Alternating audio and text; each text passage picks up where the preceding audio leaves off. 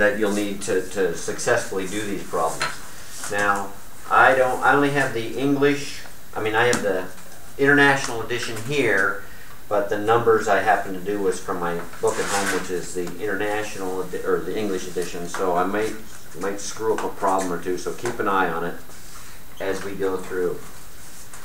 So, uh, oh, most of these too, especially uh, as we talk about processes for the next couple weeks, all the way through the end of the chapter, we're going to be talking about processes. Uh, specifically, soon we'll be talking about enough processes put together that we'll come back to where we started and we'll have a cycle. And we'll need each of those processes well understood. That's four, usually four different processes we have to put together to make this complete cycle. Uh, occasionally it's just three. Um, but still in all, uh, get in the habit for every problem of just sketching the process.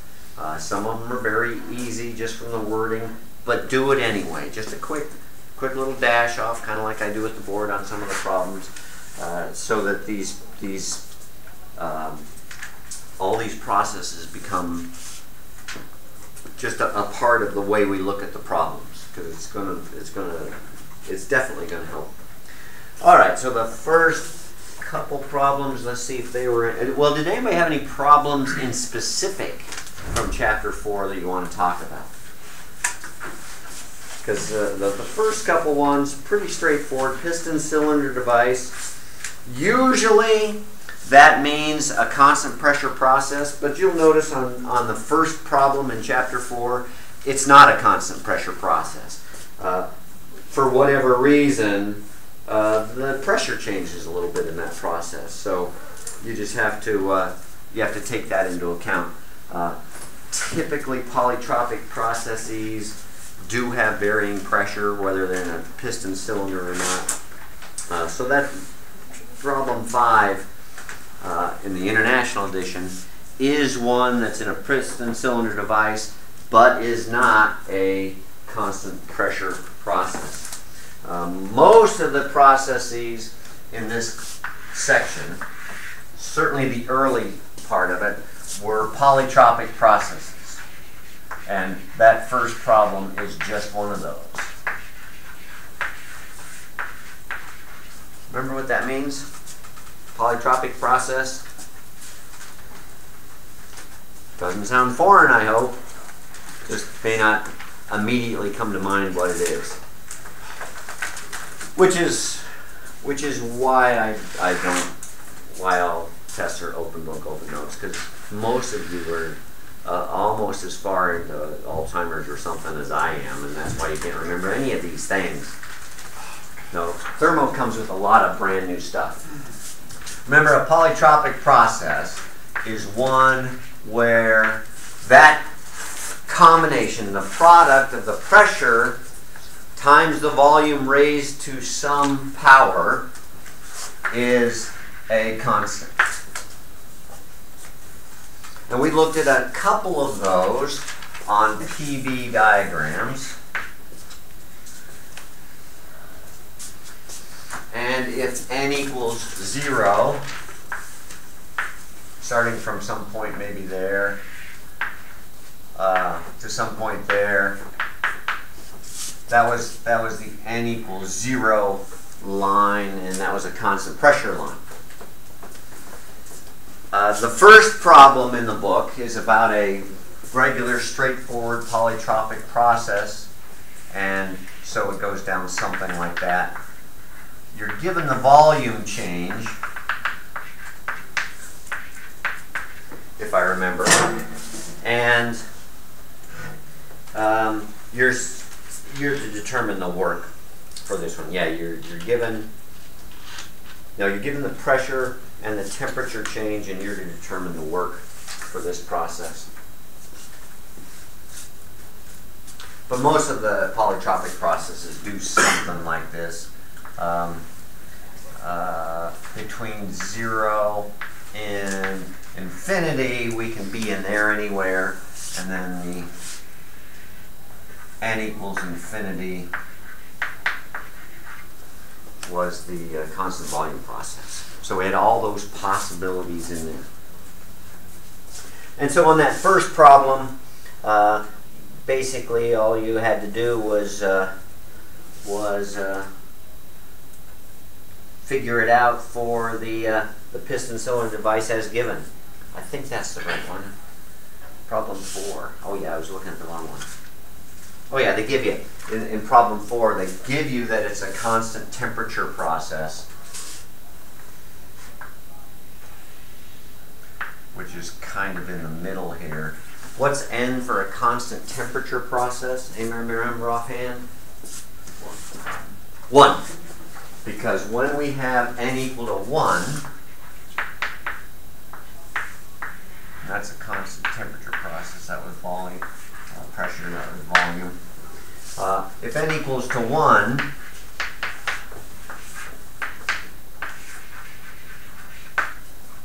PV equals a constant. Well, if you remember the other side of the ideal gas law,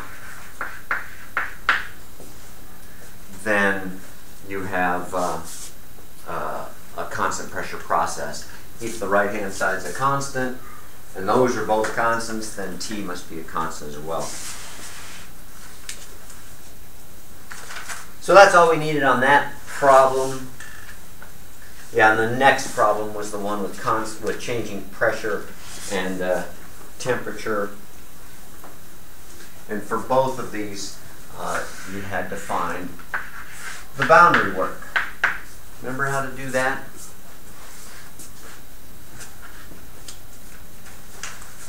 Remember how to find the boundary work. This is when the boundary of the vessel, whatever is containing the, uh, the fluid, actually moves itself and does some work. which is exactly what the, uh, the happens to the piston cylinders in your car as the piston moves. Is that gas expands in the piston because of the explosion, the burning of the gasoline in the air, that pushes the piston out, and that's doing boundary work right there. Sorry? Work has to be changed volume. Uh, not quite. Well, there's one thing that works for all ends, no matter what. Um, but then once you know what n is, then the next step uh, determines what happens next. But remember what the boundary work was? Especially easy to see on a PV diagram.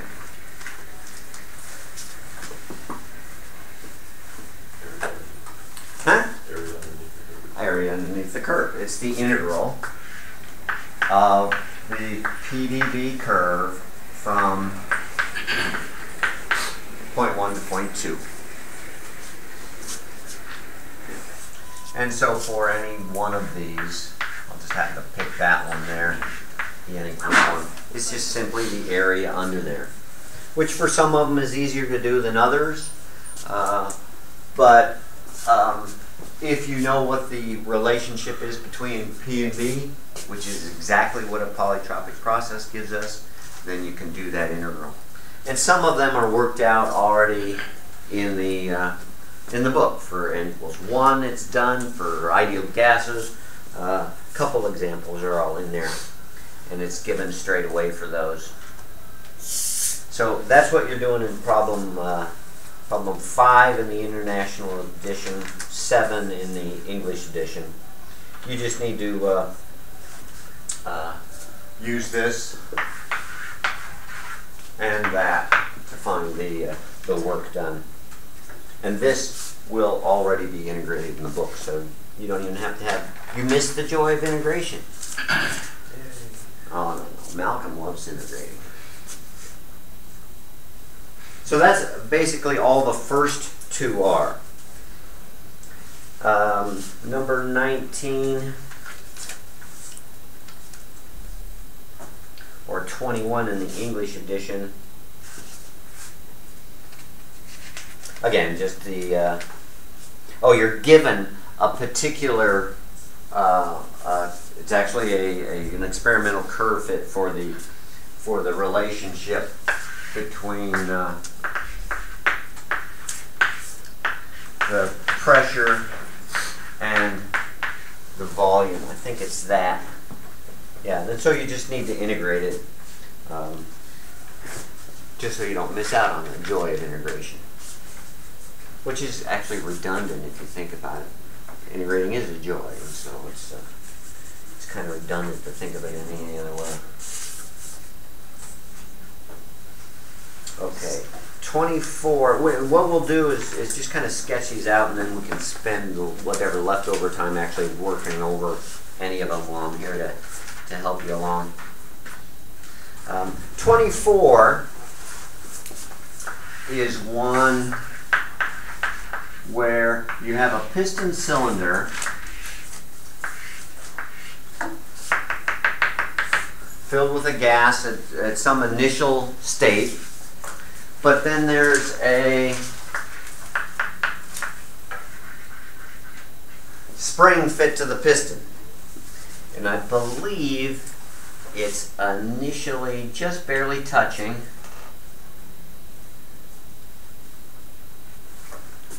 It doesn't actually say whether it's it's just barely touching or not. In the English uh, version, this is number 26. But on, on this one, just to help you understand, uh, take it to be a linear state, which means as the piston moves, the pressure will change in a linear way because of the increasing pressure from the um, the increasing force from the spring itself. So this one, you're given enough information to place the first state point, which is just under the dome somewhere. And you're told that uh, it's expanded to saturated liquid. Okay, by, by cooling the liquid, allowing it to cool, that will cause it to contract. So it's, uh, sorry, I think I said expansion, it's contraction. But it'll do so in a linear way right to the dome.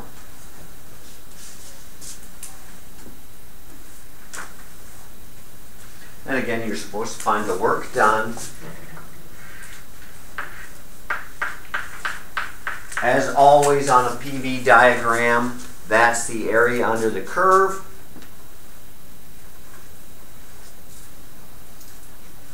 And that area is equal to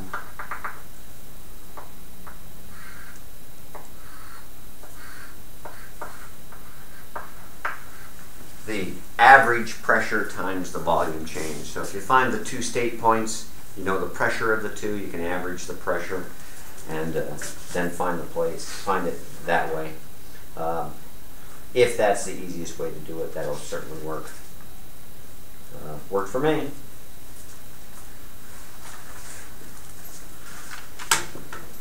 But the hardest part with this spring is it seems like it adds some severe complication, but it doesn't. It just makes the pressure variation linear between the two uh, endpoints on the process.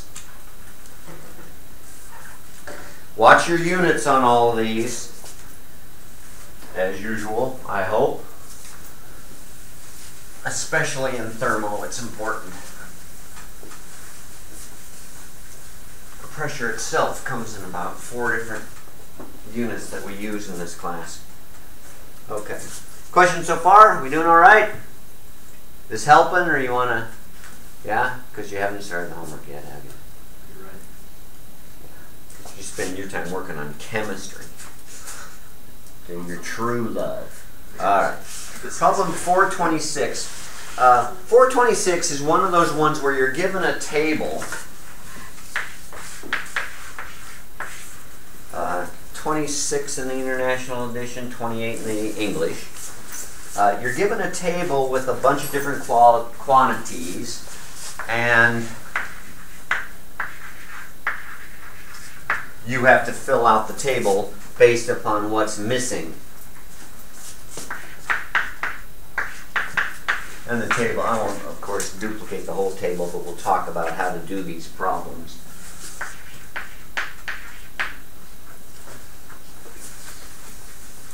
The table looks something like that with some of the values filled in. We can do the first row. You're given 350, then a blank, then 1020, then 860, and then 3. And uh, units, kilojoules all the way across except for kilograms.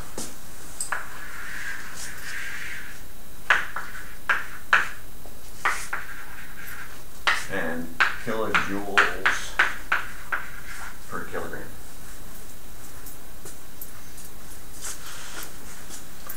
So you need to fill in the blank spots, and then there's six rows or something of this. So how do you do that? Anybody got an idea what to use? Do the first law. Use the first law.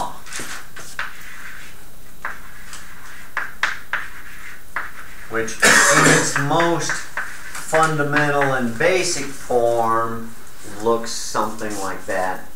But uh, it's the first the first two are, are, are you're actually given anyway. Is that the way they wrote them? Q in and Q out, yeah. Or Q in and W out, so. So you just have to, to fill this out. For the first one, you've got essentially delta E given. So you can just start filling things in, watching the units as you get the pieces. Also, make sure you get the delta in the right direction. And when I was going through this problem, I kept messing that up. I kept subtracting these in that order, but it's got to be in the other order. And then you're given the pieces, you just pretty much have to make the numbers match. And so it's a, it's as straightforward as uh, as that is. Okay, watch your minus signs too.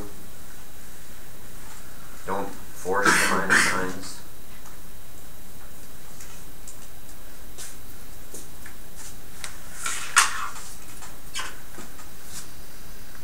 And then for this last part here, you know that m times delta E equals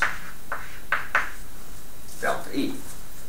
So you can finish out the rest of the table. So it's just a matter of going through the table, being careful, watching the minus signs, getting things in the right places, uh, and just getting the order to work on those.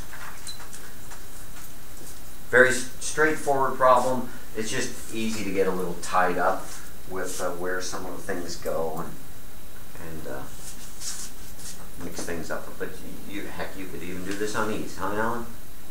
Yeah, he's already got it half mapped out in his head already. Because he's an easemeister.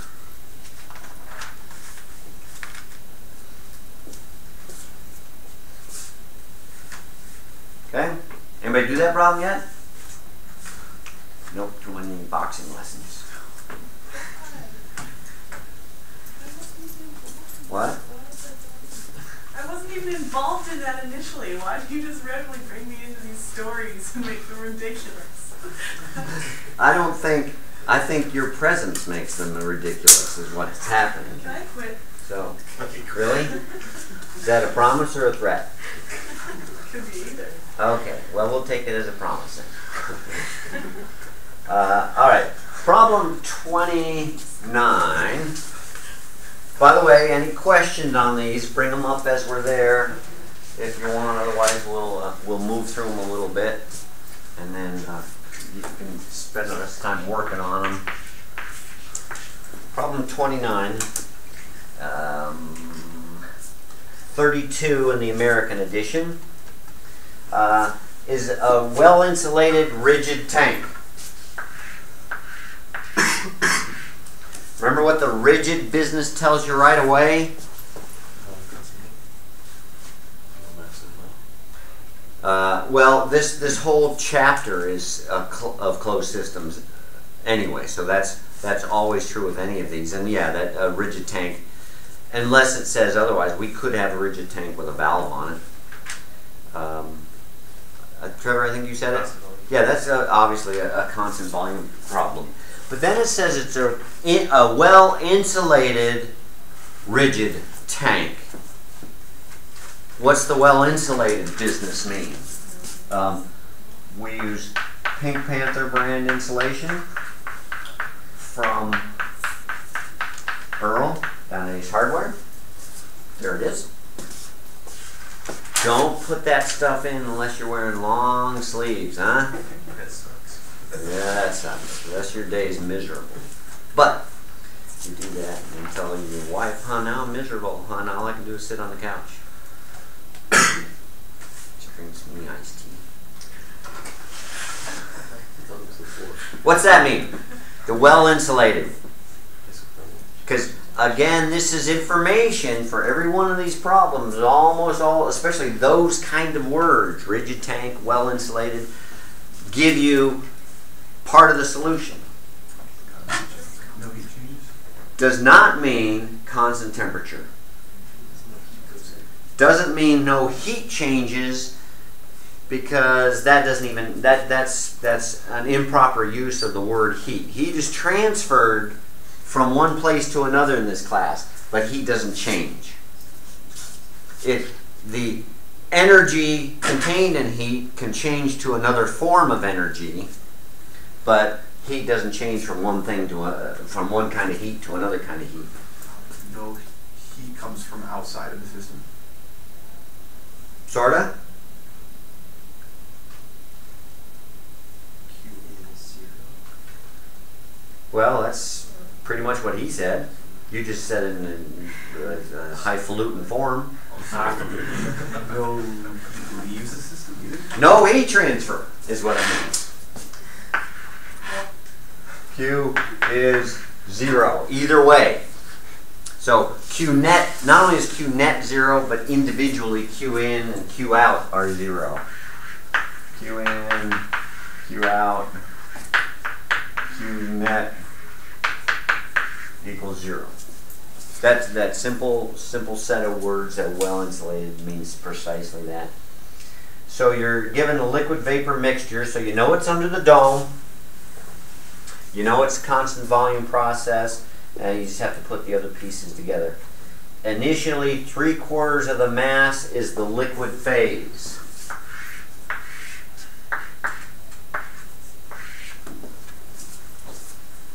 So we're under the dome. You know that from the words uh, liquid vapor mixture. Three quarters of the mass is the liquid phase.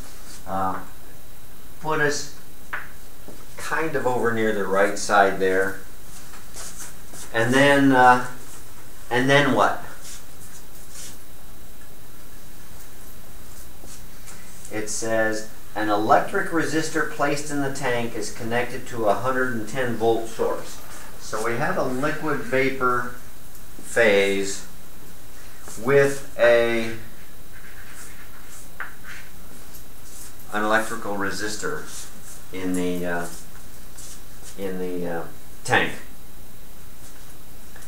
That's turned on, uh, 110 volt source, 8 amps. You decide if this stuff's important.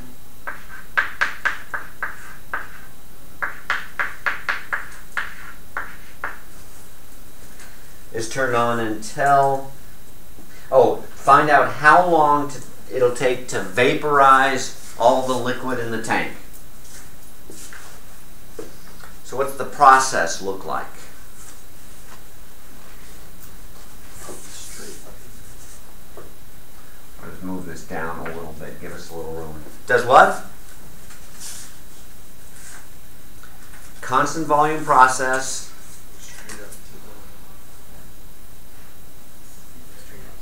Straight up to the. Dome. I knew you'd get it, come out with it, Paul. So just until all of the liquid is vaporized.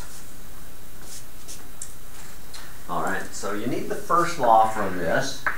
Uh, one way you can tell that is because it's that section of the book. They tell you what section you're in with each problem, so that can help you a little bit.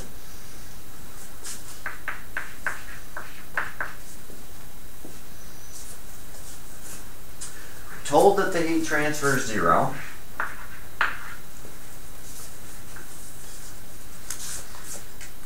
You're supposed to find how long it takes for this process to occur. How long must this heater be on for all of this liquid to boil into vapor?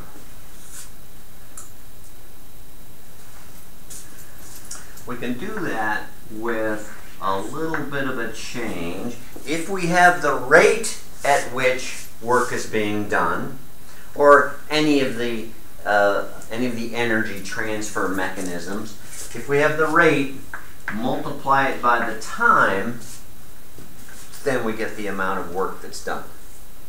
So the if you can come up with the rate, then this this is how you can introduce your your time factor, and then the uh, the same kind of thing over here. Only you don't really need that because that is just delta E, and delta E is the change in the internal energy of the system. Well, you can figure out the mass of the system. You can figure out the two state points. So the right hand side is fairly straightforward to come up with. That's the kind of thing we've been doing for for about two weeks now, just finding the state points, coming up with the values we need from those state points. Once you establish the state point, you know all of the properties that you need and more. How do we do that side? Because there's the delta t we need to solve for. So how do we come up with this? Got watts. The rate, let's put, we can put a little e on here because the only formal work we're doing is the electrical work. Remember, we consider this work done on the system, not heat being added to the system, because heat does not cross the boundary. Electrons do. Once inside the resistor, they turn into heat, the, their energy turns into heat, but it's electrons crossing the boundary, not heat. How do we find the power, the electrical power supplied? Who's taking circuits? Anybody? No, you haven't. You did? How'd you do? It's 880 watts. A B? Okay, so the electrical power. Who else took it? Everybody. You? So you know the answer. You're just you're la- you're waiting to see if she does. Of course. Yep. What do you think she'd say if I gave her the chance? Three times. B times up. And you're given both of those, so it's a pretty straightforward problem. You got a little bit to work through with the units. There is some work still to do. Uh, you do need to establish this state point. You're given enough information that from that you can find the uh, quality of that state point. You'll need that to establish all the other uh, other uh, all the other uh, points that you need. Yeah, that's you're gonna you're gonna need that. So you're you're given the quality in the letter and the wording, and from that you'll need to find U1. You'll also need to find V1 because that is what you need to get to the second state point. You know that you're in a uh, that same specific volume and you're on the dome and that's enough to fix the state point. When we say uh, for the state postulate we need two intensive independent properties, quality is one of those. And saying that we're on the dome is the same thing as saying the quality is one. So those words give you the second state point you need for that problem. So the bulk of the effort is just actually establishing those two points so you can come up with the uh, the uh, internal energy you need. Uh, bulk of the effort, except for Alan, because he does all the problems on EES anyway. So it's easy.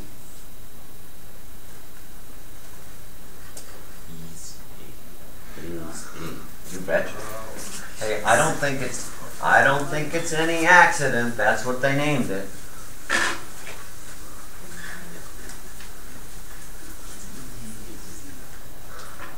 All right, question so far. You're starting to wonder, what am I going to do tomorrow? Everything's done. All the hard stuff's done. I don't have anything to do now. What you thinking? Oh, yeah. So, problem, let's see, problem 36 international, 39 English. Uh, so it's the same kind of problem we just had. It's a, one of those spring loaded. Um,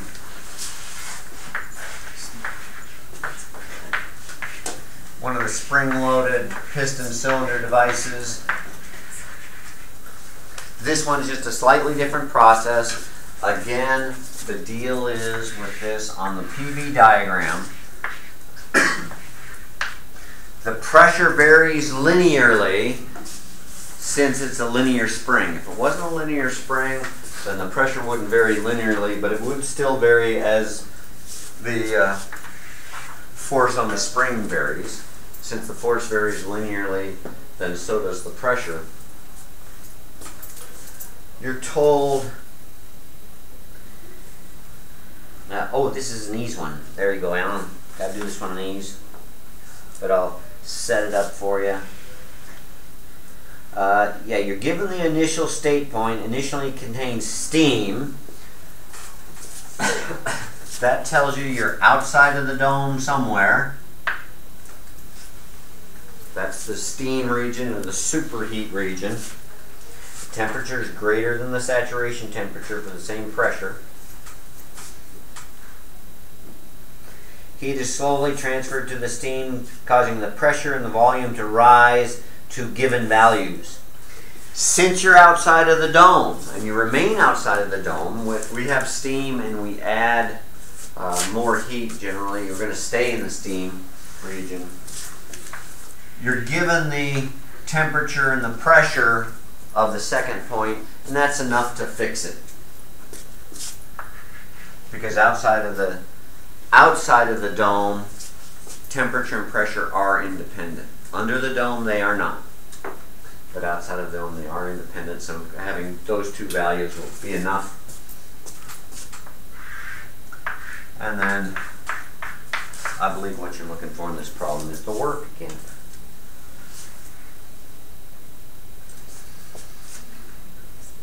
Show the process up. we just did. Uh, find the final temperature, the work done, the total heat treat, heat transferred. So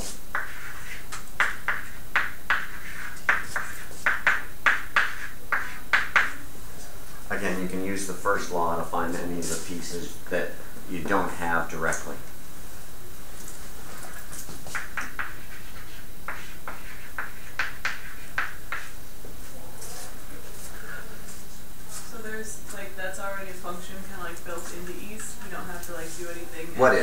Is? To find the work and stuff? Like, is it? No, it, it's not built in, no. So we have to do the integral Yeah. all that stuff Yeah, but the integral's easy since it's linear. Well, Again, it's, it's just like the other one was where you can use the average pressure between these two to get this, get the same area. Well, in- internal energy is a function in these. Yeah, oh, the value, the, the properties, yeah, are, are um, all resident in EES, but calculating the work um, from uh, some given process is not available in EES. It can do it once you set it up right, but it's not available there directly. Let's see. Can EES do like integrals? Yeah, it can. If you give it a functional form, it can do the integral. You just But- you still have to type it all out. It's harder to come up with the equation in this line to let EES do the integral than it is just to find the two pressures and average them. So, uh, don't uh, don't make things more complicated because you think just because it's named EES, it will be easy. Think those are all the first law problems uh, in that chapter. So questions on those? Because then the next ones stepped into what we talked about the last class, which was specific heat, uh, change in enthalpy, change in internal energy, those type of things.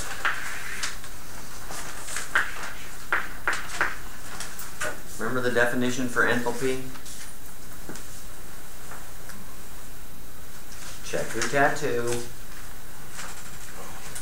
See, that's one that would just fit right here too. So you could act like you're wiping your nose in the test, but you're really, really just smearing it. And we said, boy, I wish I got a permanent tattoo instead of just writing that in ink, because now it's all over my nose. We don't want that. That's as bad as walking around with chalk smudges all over your pants. Who would do that? Definite, definition of enthalpy.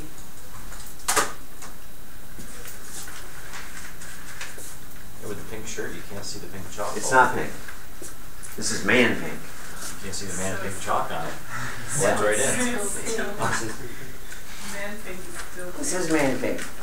It's striped. It may look like pink back there to those guys, but you can tell this is man pink. Plus, I got the sleeves rolled up. I got one button down a little bit. Plus that right there. That is, a, that is Man. Wyatt Earp's Tombstone Sheriff's Badge right there. That's the actual one. That's it right there. So this is is not a pink shirt. Thank you very much. I just don't understand the distinction between pink and man pink. Like they This- both have pink in them. This is man pink, isn't it? You oh. see it. Of course you wouldn't wear it if you were a Marine. But if you were man enough that you could wear some form of pink, this is what you choose, isn't it? So Marines are good enough for man pink. What what did the Marines wear for uh, breast cancer awareness month? Didn't they have pink uniforms? Pink pink camouflage? no. Foot, the National Football League didn't mind. But oh no, not the Marines. Sorry, can't do He probably died just trying to his hair pink. A little blotch of that. We're not allowed to do that. Well, gosh darn it, your skin's nice pink. So, definition of enthalpy. Anybody. Internal energy times pressure times specific volume. U plus PV. Merely a definition of convenience, just just a way. Uh, if this is physics, we would have named it after a dead white male German physicist. Uh, just a matter of convenience, so we don't have to keep writing those letters over and over and over. Um, but then we the the two are linked, if you remember, by the specific heat calculated along a plane of constant pressure or along a plane of constant volume. Remember the definitions for these?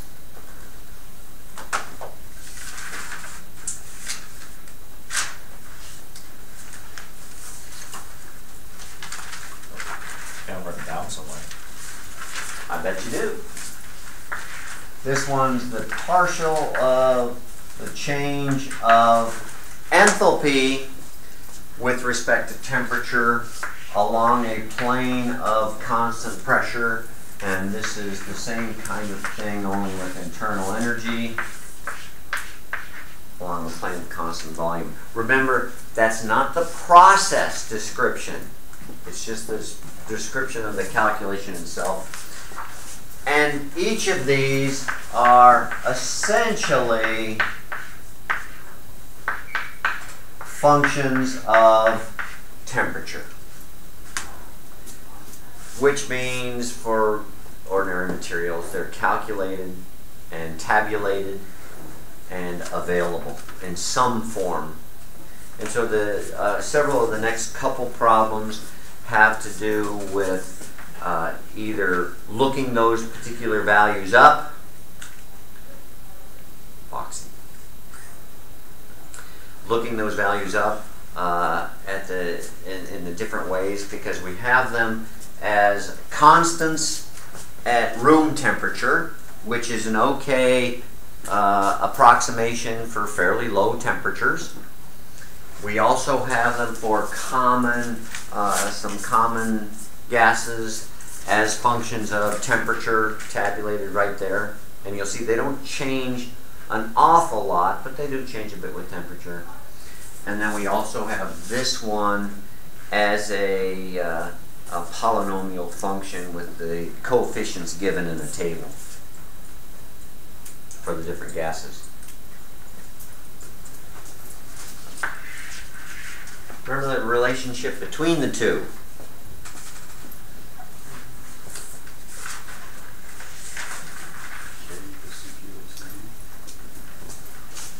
K is the ratio of C sub P over C sub V. What's K called? It's called the ratio of specific heats. They didn't know that. It's right, there. Yeah, you were just thinking, oh, it's got to have some fancy name. No, ratio of specific heats. Um, for incompressible substances, remember what the deal is with the specific heats?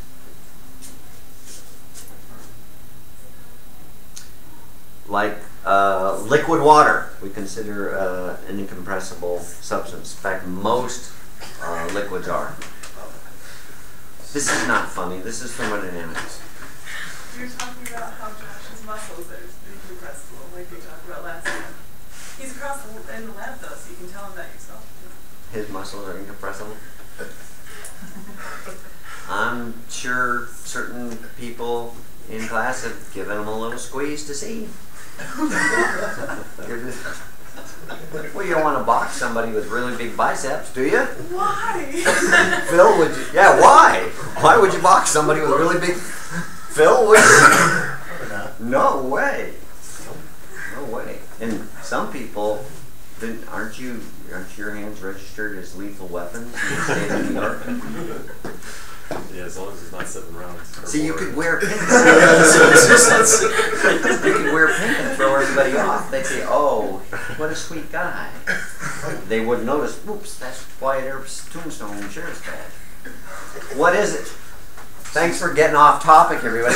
Paul wants to learn. Let's do that. Uh, remember what this deal is with specific heats and incompressible substances. C sub P equals C sub V.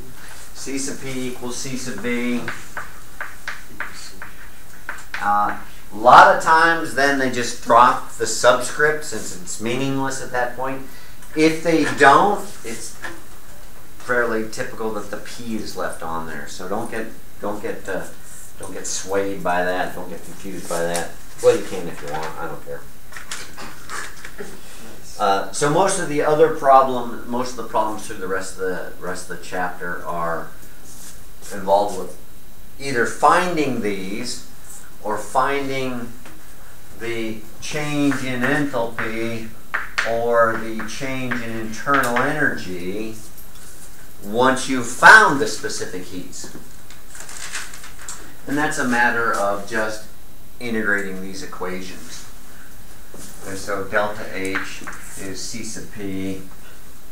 Well, uh, specifically, it's C sub P dt from T1 to T2.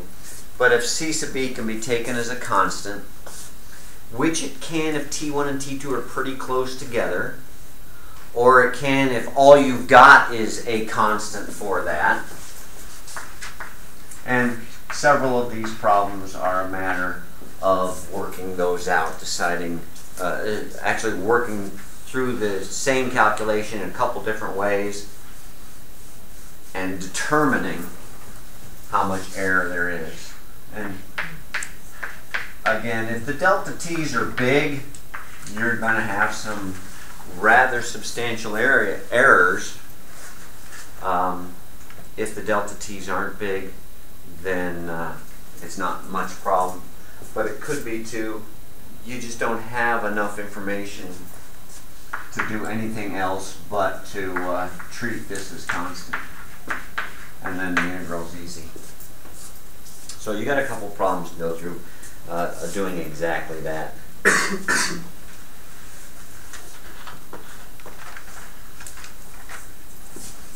And then there's a few problems to sort of bring all of that together.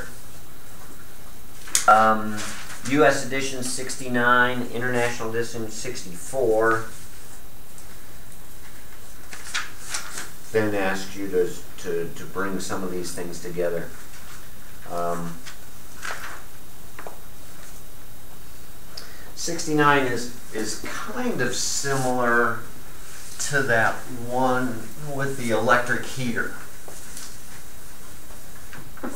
In that you're given a, a student dormitory room, which uh, most of you didn't even know what those were, but now we have them on campus. So that's that's pretty cool. Now you know what we're talking about when we say dorm rooms. Uh, was a dorm room with a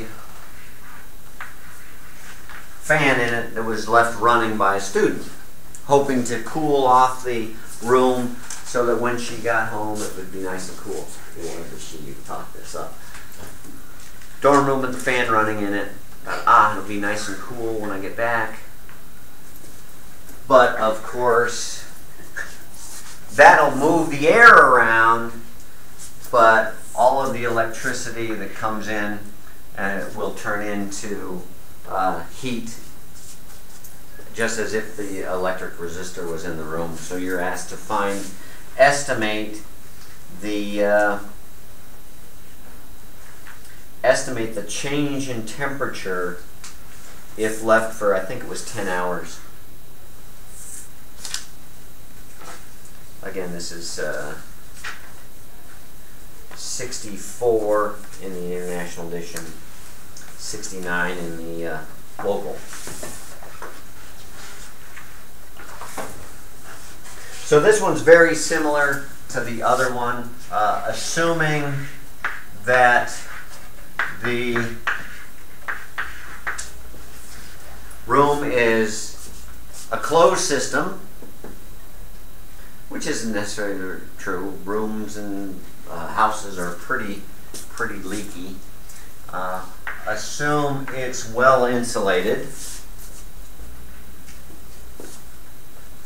And then it was a matter of taking the power generated by the, the um, fan, and in circuits or physics 3, you may have called that ohmic heating, the heating through a resistor. That's uh, just what's going on here.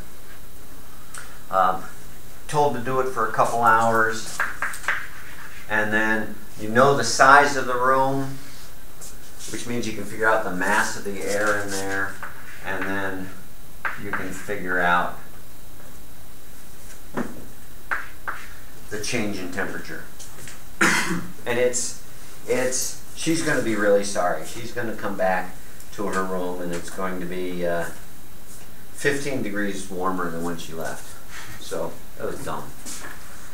She she she should have just uh, just had boxing practice in there for all the heat she generated.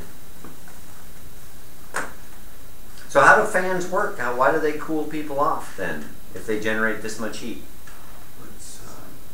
Forget what it's called, but it's the wind speed effect when air hits your skin. How Yeah, it's it wind chill. If, if this air's not hitting you, uh, then it's not going to be cooling you off much. It can stir things up if there's a central place for the heat that's collecting. It can uh, circulate that and reduce the local average where the heat generation is. But uh, do you, what are you? Yeah, you part, part bear. Need a Can big- get that scholarship? Gee whiz. I don't think you're going to get any scholarship now. Or bear. Bears are a minority grade in college. Uh, yes, they are, except at the University of California. The, the, they, they are the Bears. The California Bears or something. Hey, Malcolm wants to learn now, even though Paul's given up. Slightly off topic, but No. Um, You, why is it that wires that are supposedly have you know almost no resistance, you know, railroad wires when you work with them, why is it that they still uh, throw off a lot of heat, even though they have almost no resistance? Because that's not that that's because almost no is not no. And Phil, Phil, help him.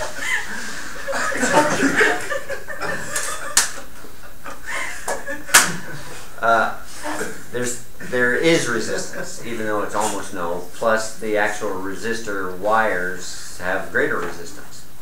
Plus, they're just really long. That's why a lot of times the resistors are just coils. It- It's just Mm. that much distance is, is enough for the heat to increase. All right, then the last problem. Oh no, there's two more. Oh yeah, there it is. Uh, second, the penultimate problem. Penultimate means second to last. Okay. Uh, International Edition 75, American Edition 80 gives you a two process process to put together. So, um, air is contained in a piston cylinder device fitted with a uh, with a set of stops.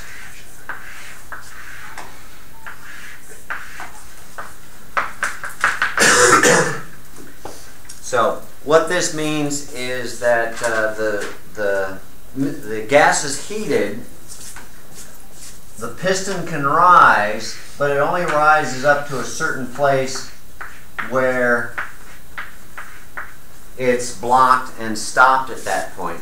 Yet the heating continues.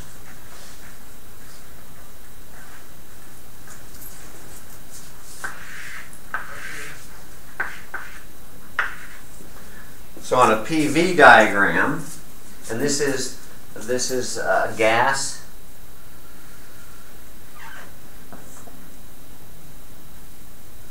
um, 175. Yeah, it's just air. This turns into a two-process process. What do they look like?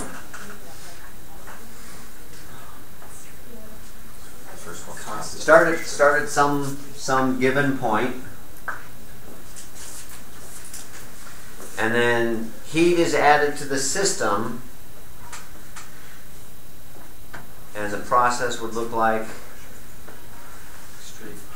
Yeah, constant pressure process because the piston is allowed to float to some point where then the piston hits the stops. Yet heat is continued to be added, and so what happens then?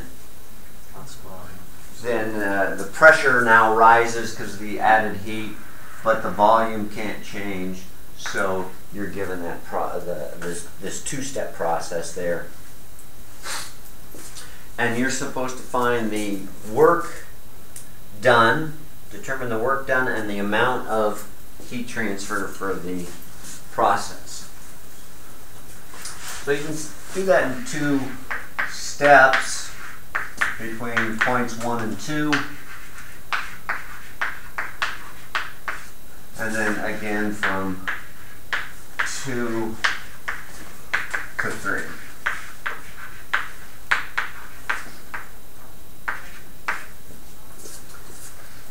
Have to establish the state points from what's given. Any of those parts zero, what I just wrote up?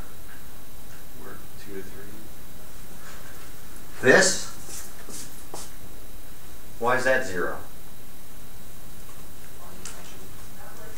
There's no area under the PV diagram, so that one's zero.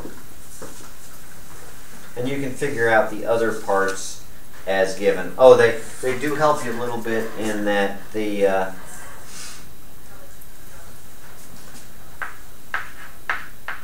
they tell you that the pressure, the, the volume doubles. So you go from V1 to 2V1. And then in the other process, the pressure doubles. So that helps you with, with uh, all those business, all those pieces.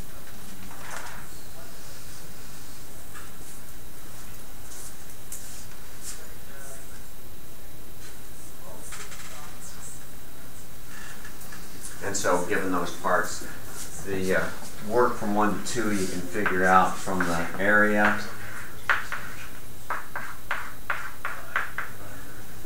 You can find out U2 and U1 from the state points, or from C sub P.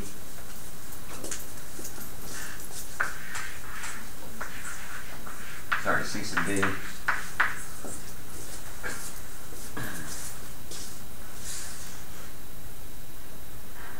And then you can figure out the other the other pieces from that.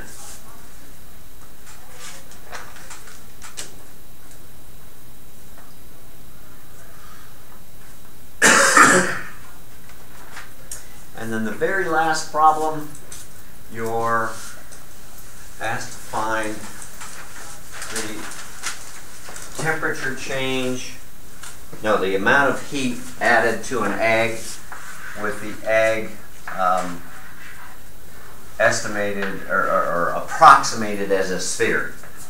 So you're given the density, the si- the radius.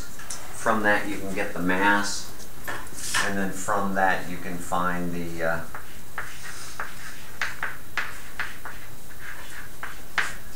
the the change in uh, how much heat is added.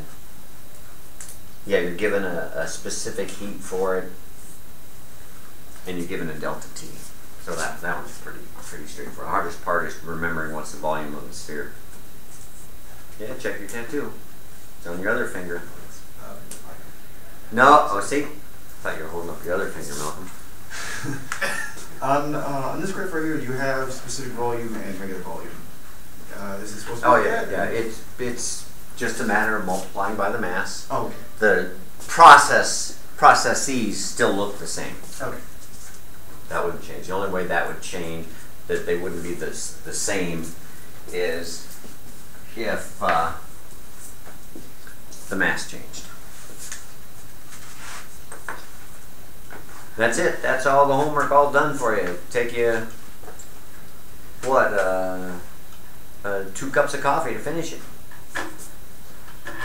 Three, three half gaff and five uh, decaf.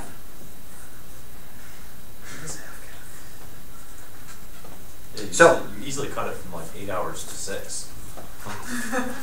That's that's a two-hour boxing practice right in there, or two hours looking for a back scratcher. Or just two hours of scratching your back. See, While yeah. box with one arm and scratch with the other. okay. So if you want to spend the rest of the time working on some of those, work on the harder ones, especially while I'm here to help through the details. You've already done them all. You Have you done any of them? Yeah. But pretty much now.